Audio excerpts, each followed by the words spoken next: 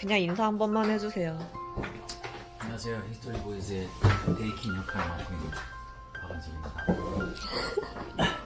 이거 기타가 왜 여기 있어? 그거 무대 감독님 거예요. 내 유일하게 칠 수 있는 곡 하나 있지. 아 진짜요? 제대로 찍어야지.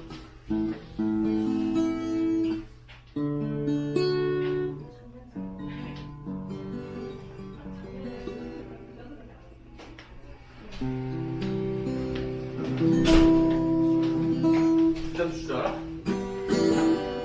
나? 잘 못 쳐.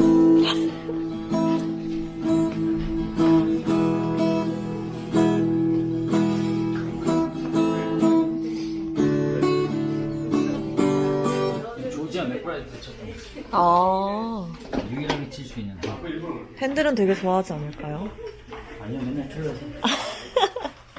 바카스 드시고 이마 파이팅 하십시오. 바깥을 먹어야지 이막을 할수 있어. 약물 공격.